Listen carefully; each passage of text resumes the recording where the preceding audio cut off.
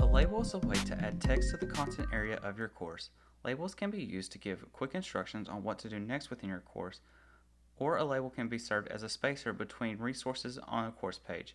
It can also provide a space for embedding banners, sound, and video files.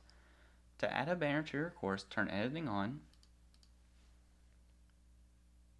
and select add an activity or resource within the topic you wish to add it.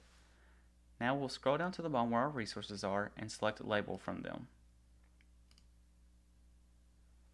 The label text is what will appear on the course homepage for our students to see. For this course, we just want to say, welcome to my course.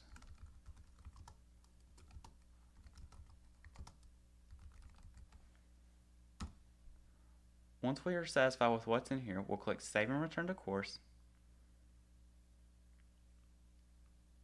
And now we can see we've created the label, but I want to move this to the top so students see it right away. And when editing's turned off, we can see that our label is still there.